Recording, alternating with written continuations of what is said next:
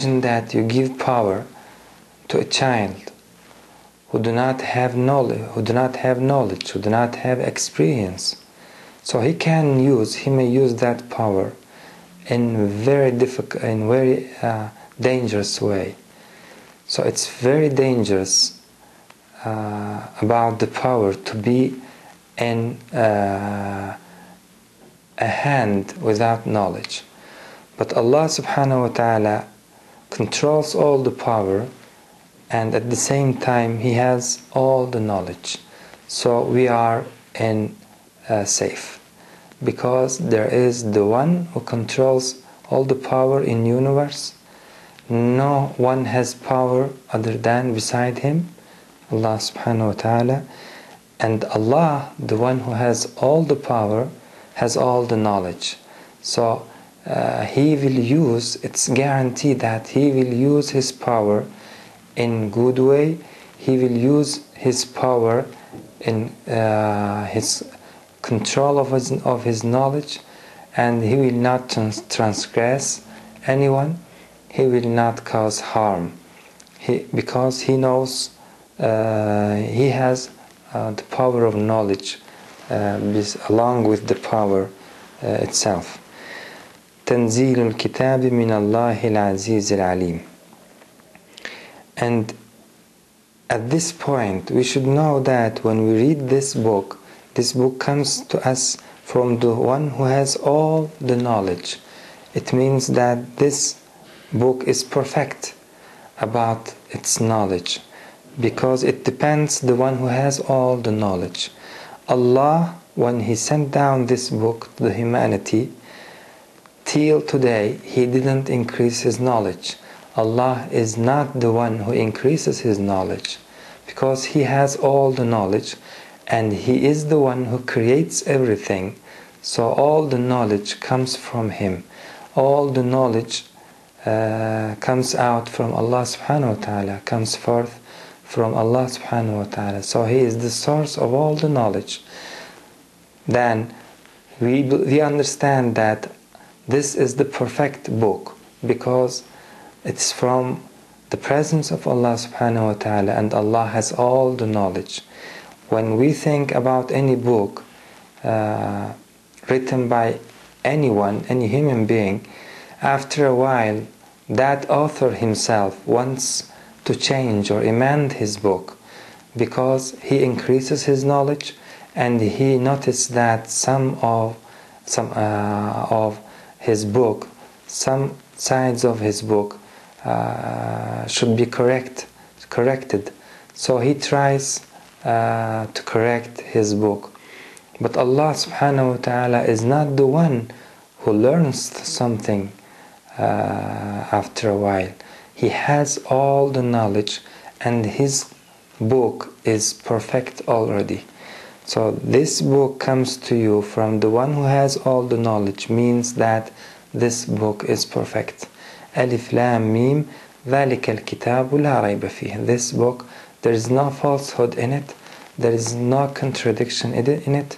لا يأتيه الباطل من بين يديه ولا من خلفه the batil, the falsehood, cannot approach Quran neither from لا يأتي الباطل من بين يديه neither from front of it من بين ولا من خلفه neither from uh, behind of it لا يأتيه الباطل من بين يديه ولا من خلفه why because تنزيل من حكيم حميد because it is a revelation, it's a descending from the one who is all wise, Hakim, hamidun and all praise. Tanzilul Kitabi min Allahil This is the book from the one who has Almighty and all knowledge. Tanzilul Kitab. And we can notice also Allah subhanahu wa ta'ala naming this revelation as book. Al Kitab, Tanzilul Kitab. And He owns it and He says, This book comes you from me. Uh, so uh, the one who is sending the book and the one who is sending the message, he presents himself at the beginning of the surah. تنزيل الكتاب من الله العزيز العليم. Let's move on to the ayah number 3.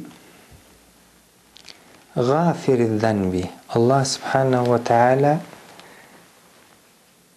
defining himself, presenting himself or introducing himself because this is book comes to us from the only one God who is Al-Aziz and Al-Alim and what else غافر الذنب he is the one who forgives the sin غافر الذنب وقابل التوب and he is the one who accepts the tawbah who accepts the return of the servant وقابل التوب accepts the repentance of the servants غافر الذنب وقابل التوب this is uh, this, uh, this ayah has many glad tidings in it غافر الذنب Allah subhanahu wa ta'ala first of all says to us that he is ready to forgive the crimes غافر الذنب he names himself that he is the one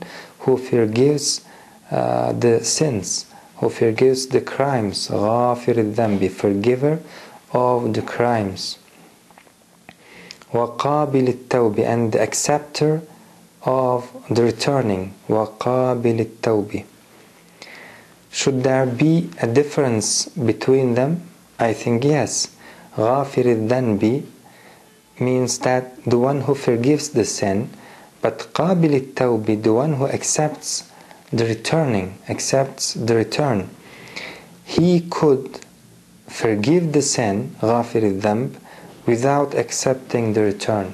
For example, uh, you have uh, someone made mistake you uh, against you or do wrong uh, to you uh, and after a while he, is, he asks for forgiveness from you.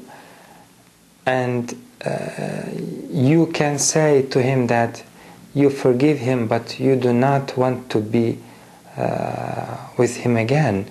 You do not want to him uh, to return to you.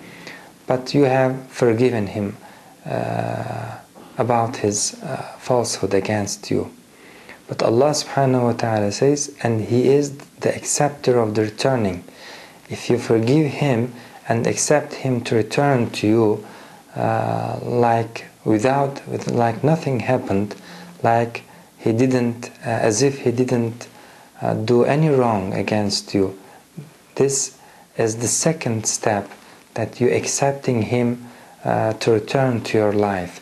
You accepting him uh, to return and live as if you are living before uh, the mistake before the falsehood Allah does the first step غافر الذنب he forgives the sin and then وقابل التوب he accepts uh, the return of the servant so it's different uh, this this it's different from each other غافر الذنب وقابل التوب Allah subhanahu wa ta'ala accepts the return of the servant to him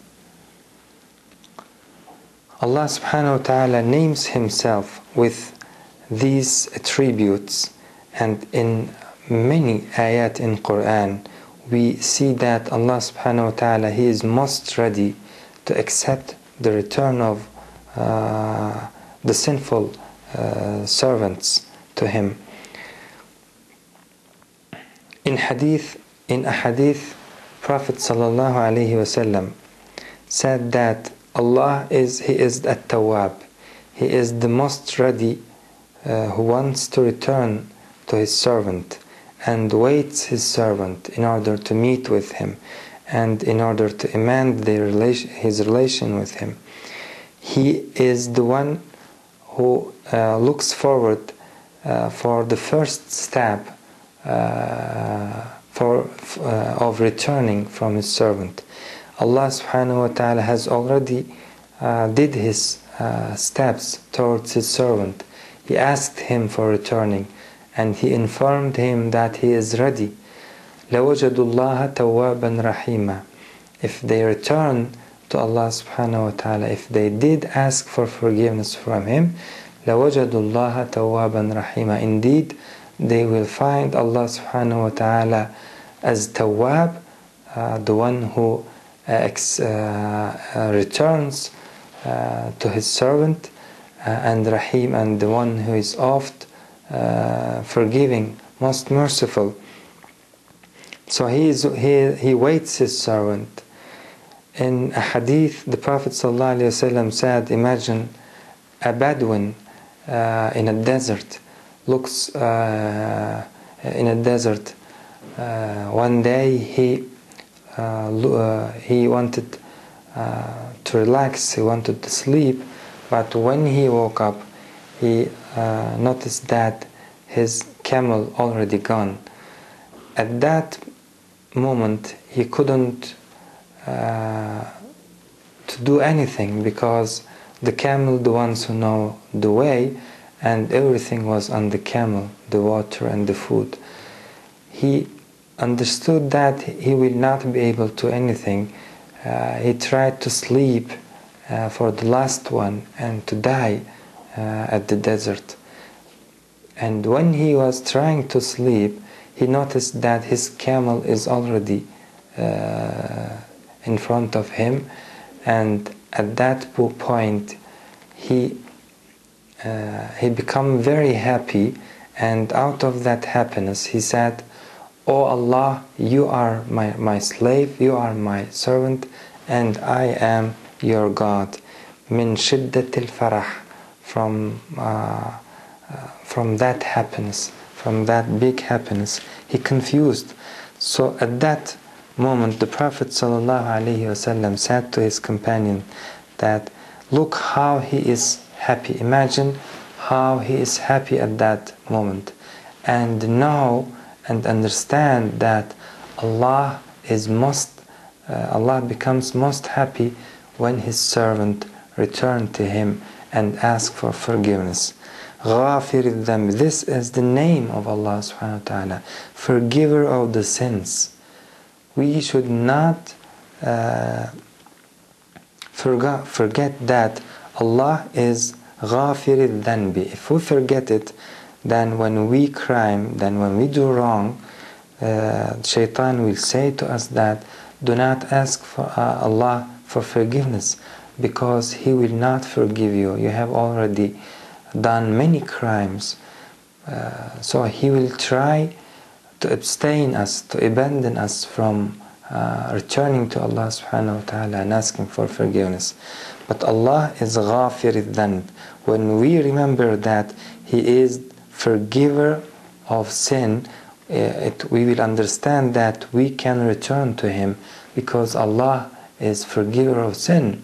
And there is hadith, Allah subhanahu uh, Prophet sallallahu alayhi wasallam said, لَوْ لَا تَذْنِبُونَ أَنْتُمْ Had you not, uh, had uh, you not crime, uh, if you do not cry, if you would not crime, لو لا تذنبون أنتم لذهب الله بكم Allah would take you وأتى بقوم